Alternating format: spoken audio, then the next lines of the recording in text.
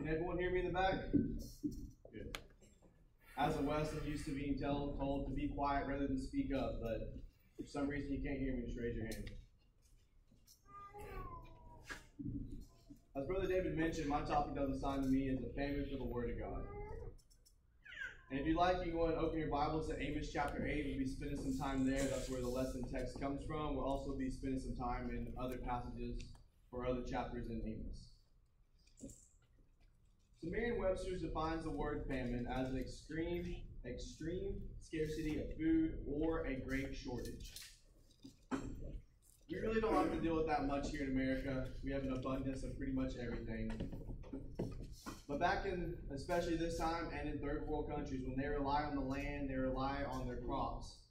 When something happened to their crops, especially weather, drought, they had a scarcity of food, and they had to wonder where their next meal was going to come from.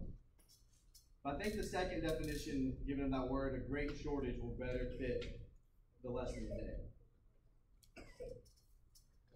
In about 750 BC, an obscure farmer and shepherd was called by God to be a prophet.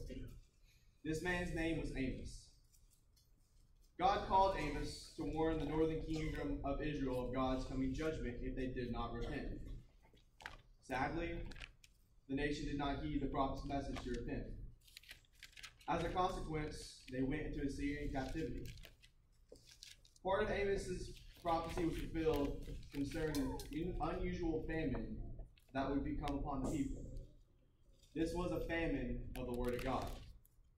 If you look at Amos chapter 8, starting in verse 11, it reads, Behold, the days come, said the Lord, that I will send a famine in the land. Not a famine of bread, nor a thirst of water, but a hearing of the words of the Lord. And they shall wander from sea to sea, and from the north even to the east. And they shall run to and fro, and seek the word of the Lord, and shall not find it. And that day they and that day the fair virgins and young men shall faint for thirst. They that swear by the sin of Samaria, and say, O God, O Dan liveth, and the manner of Beersheba liveth, even they shall fall, and never rise up again. Today, there is also a famine of the Word of God. And sadly, you see this with talking to really anyone in the world, even if they claim to be religious. And I think one of the main places I see it when talking to people is, you know, you can see it when you say, talk about judgment. And they'll say, oh, the Bible says, judge not. But when you really try talking to them, they don't know where it's found. They don't know the context of it. They don't know that verse is actually talking about proper judgment and that we are to judge. People just don't know the Word of God. And they take what other people hear and they just repeat it without actually searching for themselves. As many people know, I own a couple reptiles. One of those is a snake. And when I first got my snake, I was telling my coworker about it, and he was kind of surprised. He said, Aren't you a Christian? Y'all can have snakes? Because he compared it to the devil. So I had to spend a little time explaining to him about that. But he was just ignorant of the word. There is a famine of the word of God. In some ways, it's different than the time of Amos. However, in other ways, it's similar. And it has produced and continues to produce similar results. So we'll compare the present day famine with the one foretold by Amos concerning the northern kingdom of Israel. The present day famine. How is it different?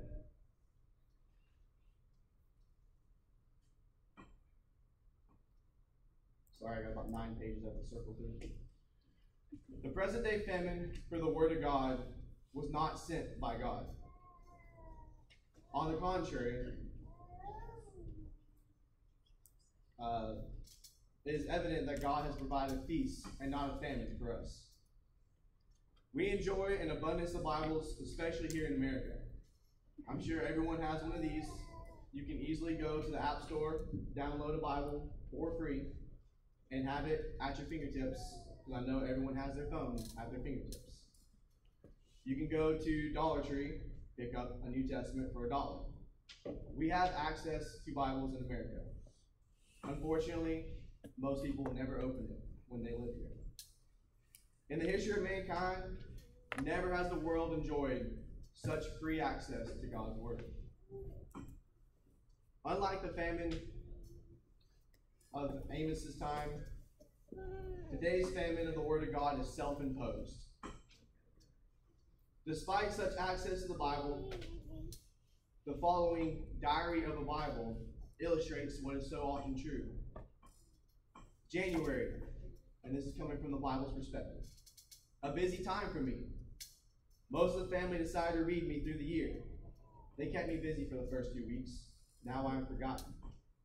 February, my owner used me a few minutes last week. He had an argument and was checking references. March, Grandpa visited me. He kept me on his lap for an hour reading 1 Corinthians 13. April, I had a busy day. My owner was appointed leader of something and used me. I got to go to church for the first time this year, Easter Sunday. May, I have a few grass stains, stains on my page. Had some early spring flowers pressed in me. June, I look like a scrapbook. They have stuffed me full of clippings. One of the girls got married. July, they put me in a suitcase today. I guess we're off on a vacation. I wish I could stay home, as I'll have to stay in this thing for a month. August, still in the suitcase. September, back home again, and in my old place. I have a lots of company. Two true stories and four funny books on top of me. I wish I could read them as much as I wish I was read as much as they are. October. They use me a little today. One of them is sick. Right now, I'm all shined up in the center of the table. I think the preacher's coming. November, back to my old place. December, they're getting ready for Christmas. I'll be covered with wrapping papers and packages. The answer as to why this present day famine from the Word of God exists may be found in comparing the famine to the one foretold by Amos. How is it similar? The present day famine is a result of similar causes. In Amos's day, this was because of pride, which God hated. If you want to turn to Amos chapter 6, we'll start in verse 1. It says, Woe to them that are ease at Zion and trust in the mountain of Samaria, which are named chief of the nations, to whom the house of Israel came.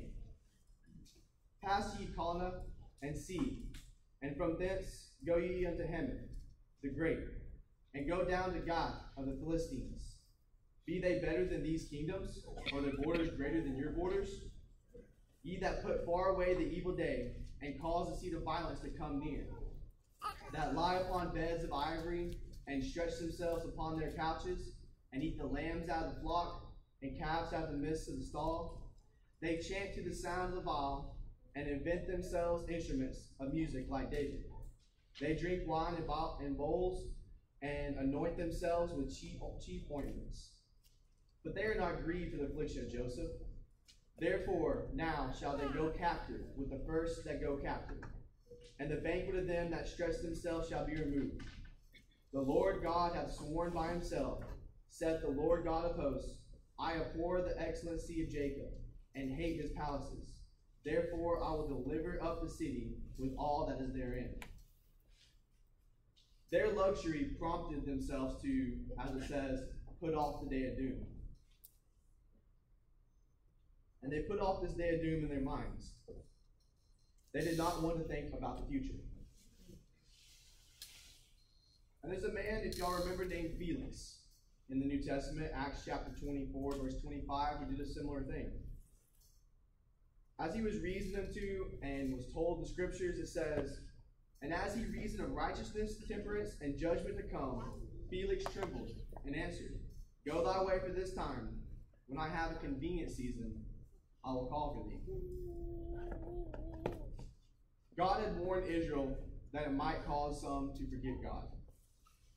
In Deuteronomy chapter 8, verses 11 through 14 and verse 17 reads, Beware that thou forget not the Lord thy God in not keeping his commandments and his judgments and his statutes, which I command thee this day.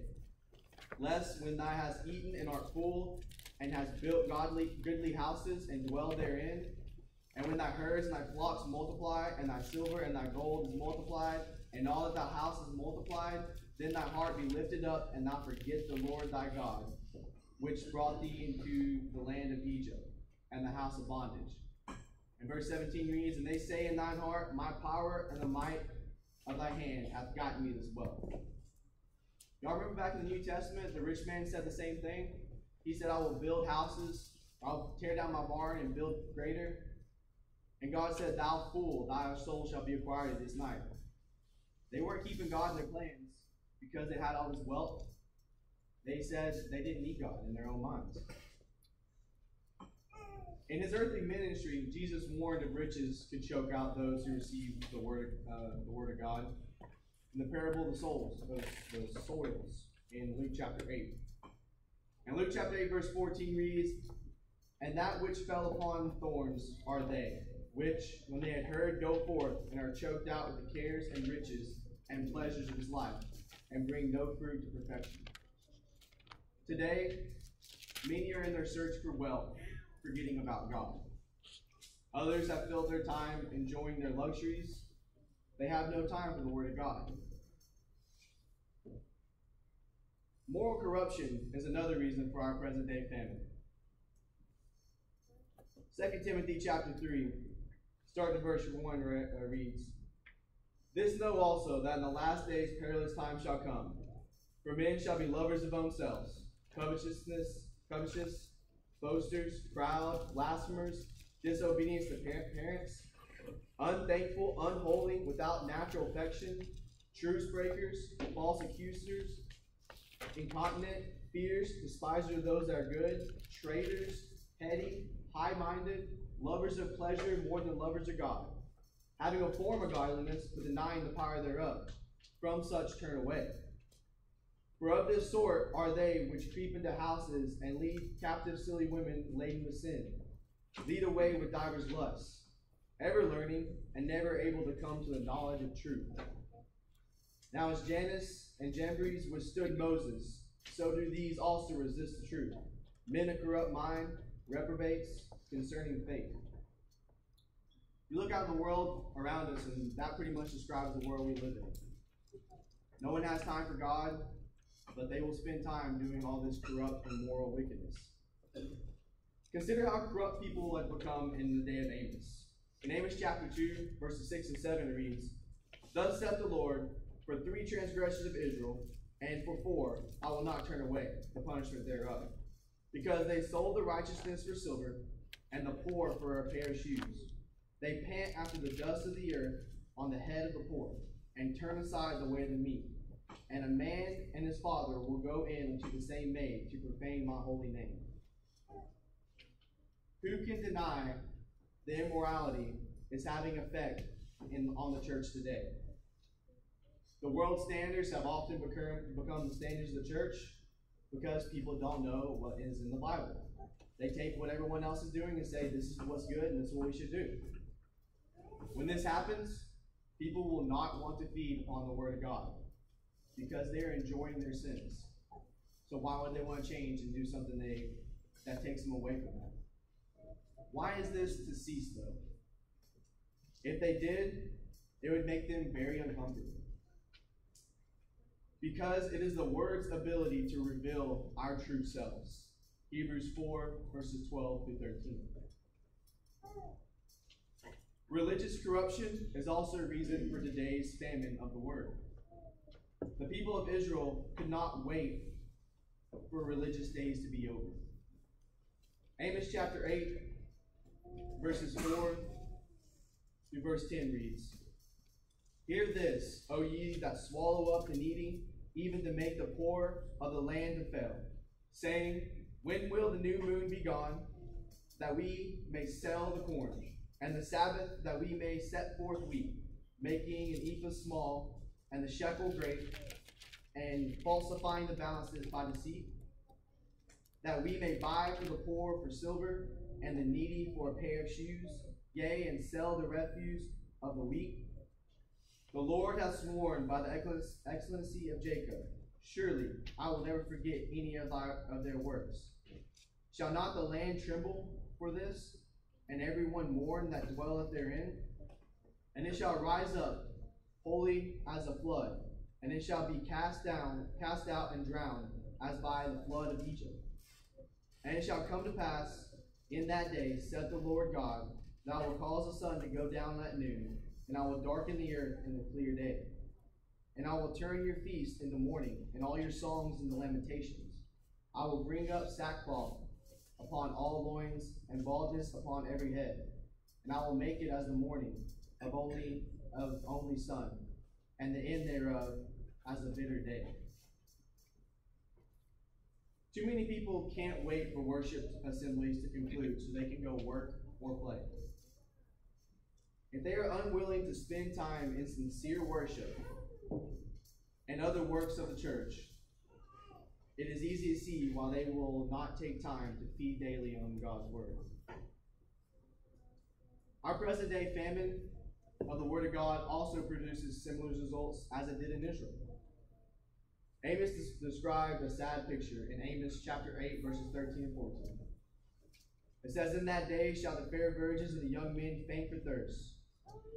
And they swear by the sin of Samaria, and they say, Thy God, O Dan, liveth, and the manner of Beersheba liveth.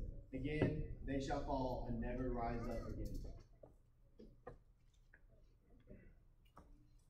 Young people fainting from thirst. Others failing not to rise again. Doesn't this describe the lives of many Christians today? Suffering from a lack of spiritual food, they are easily overcome by temptations. Even the common trials of life overwhelm them. This may under, help us understand why some new Christians fall away. Young people also uh, often lose interest the less than faithful conduct uh, of some, the less than faithful conduct of some elders, preachers, and teachers is what it is. There are two things that are necessary to resist the trials of temptation faith in God. 1 Corinthians 10 and verse 13 reads, There hath no temptation taken you that is common to man, but God is faithful, who will not suffer you to be tempted above that which you are able but will with the temptation also make a way escape, that ye may be able to bear it. Believing that he will provide a way of escape, and having that faith in God. But also, we need a fear of God, that awesome reverence that motivates us to turn from evil. Proverbs 16 6 reads, By the mercy and truth, iniquity is purged, and by the fear of, uh, the fear of the Lord, men depart from evil. The Word of God is designed to impart both fear and faith. Romans 10 17 says, So then faith comes by hearing, and hearing by the Word of God. The condition of many churches today is one of spiritual malnutrition. It's influenced by materialism, immorality, and a lack of true spirituality. By choice have they imposed a famine upon themselves for the Word of God. This helps to explain the discouragement and defeat in the lives of so many Christians today. What can be done about it? How can we end this self imposed famine for the Word of God? Well, first, we must appreciate the power of God's Word. God's Word possesses the power of creation. We see this all the way back to the beginning of time. When God created the, the world, He did it by the power of His voice he spoke things into existence. In Hebrews 11, chapter, chapter 11, verse 3, it says, Through faith we understand that the worlds were framed by the word of God, so that things which are seen were not made of things which do appear. It has similar power in the spiritual realm, producing true regeneration. John 6, verse 63, and 1 Peter 1, verse 23. It, it possesses the power of sanctification. As praised by David in his psalm, in Psalms chapter 19, verses 11 through, or verses 7 through 11 says, The law of the Lord is perfect, converting the soul. The testimony of the Lord is sure, making the wise simple. The status of the Lord, the statutes of the Lord are right, rejoicing the heart.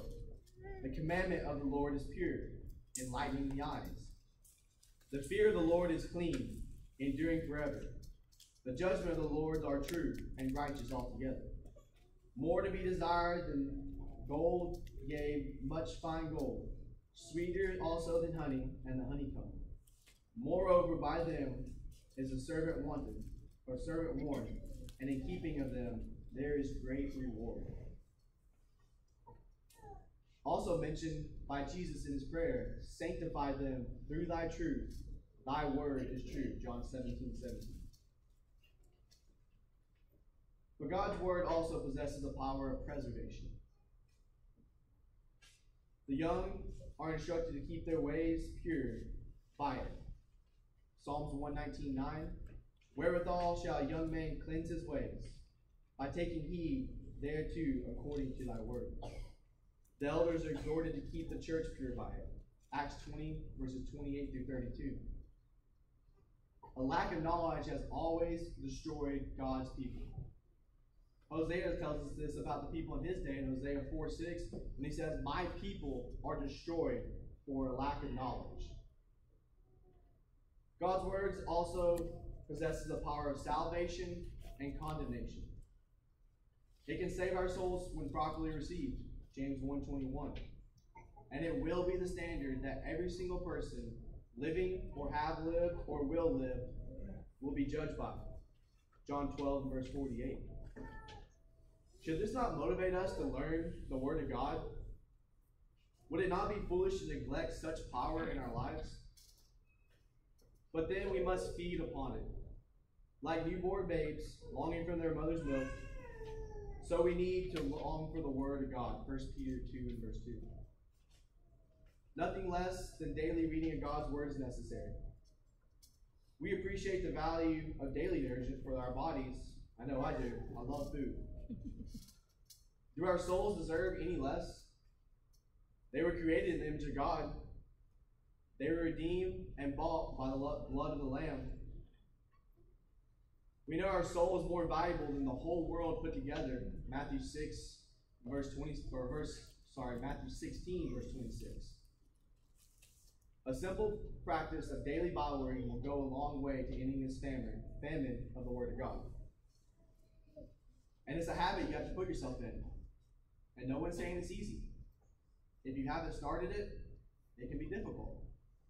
But it's something we have to remind ourselves every day. I'm sure we all spend time on our phones when we could spend 10, 15, 20 minutes with the Word of God. But you have to set aside.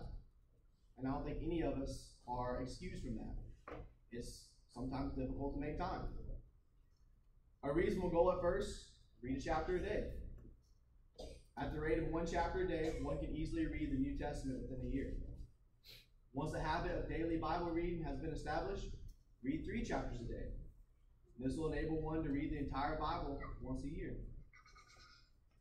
It takes the average reader only about 10 or about 20 or 30 minutes a day. The use of some Bible reading charts or checklists may be helpful. You can go online and Google reading the whole Bible in a year, and you will find charts. That will tell you exactly what verses, what chapters you need to read to do it a year. As you read, make time for meditation and prayer. It's not just enough to read it. You know, you gotta go to sleep. Like, oh, I haven't read God's word. Let me read it. In the beginning, God created the heaven and earth. Okay, I'm done for the night. You have to meditate on the word and understand what God is trying to say to us. Psalms 1, 1 through 3. Praying for wisdom and to uh, help obey God's word. Psalms 119 and verse 18. So, in conclusion, it must have been terrible for the Israelites, taken away as captives to a strange land, unable to feed on the wonderful word of God. But how tragic for those who impose a famine of the word of God upon themselves. They have the Bible, they have the ability, they have every means, they have time, but they choose not to read it. They choose not to obey God's word. And what a sad time it will when they stand before God in judgment with no excuse. Sorry, I just didn't do it. By their own neglect, they remain captive to their sins. By their own language, languish from spiritual malnutrition. Their tragedy is increased. When will we realize their neglect is not just one related to the Word of God, as it existed in Amos's day, but they are neglecting the full and final revelation of God's word given through Jesus and his apostles. By God's grace, have so much more to enjoy, yet they turn aside from this spiritual feast. Acts 20 and verse 32. And now, brethren, I command you to God and to the word of his grace, which is able to build you up and give you inheritance among all them which are sanctified. Thank you for your time.